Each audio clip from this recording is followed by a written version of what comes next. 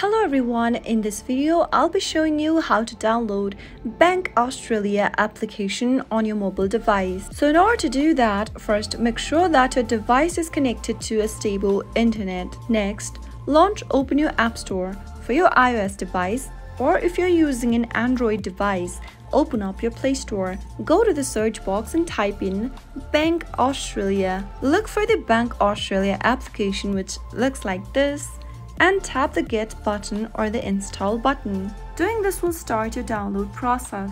After a few minutes, you should be able to see an open button popping up right beneath the app, which means your application has now been downloaded and ready to be used. Tap on Open to launch Open Bank Australia application on your preferred mobile device. That is how you should be able to get Bank Australia application on your mobile device in a few simple steps. If the video was helpful to you, go ahead and give us a thumbs up. Don't forget to subscribe to our channel.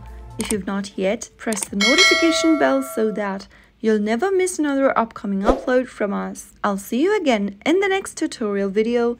Goodbye till then.